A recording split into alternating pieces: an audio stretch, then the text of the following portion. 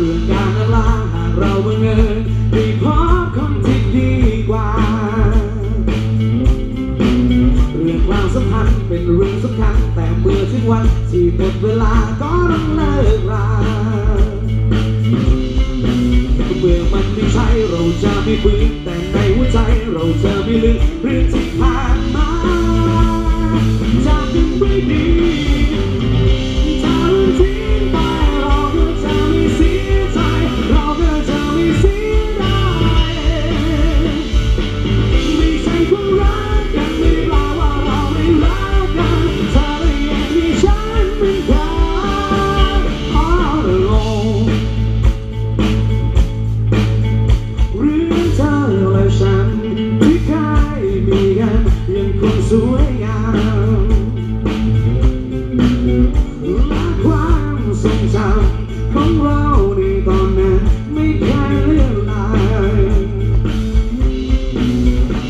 ก็พันและไม่ได้พบแต่ในหัวใจเรายังได้พบเรื่องที่ผ่านมา